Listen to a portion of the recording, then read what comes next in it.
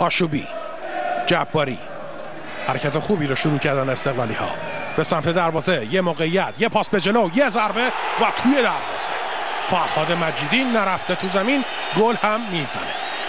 سرعت زیبای او و تکنیک بالای او. و قدرت گلزنی خوب او.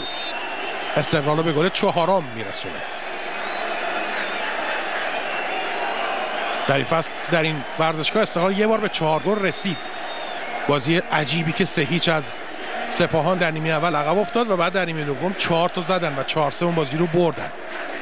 بعد از اون بازی این اولین باریه که استقلال در آزادی به گل چهارم دست پیدا می‌کنه و داره یکی از بهترین پیروزی هاشو تجربه می‌کنه.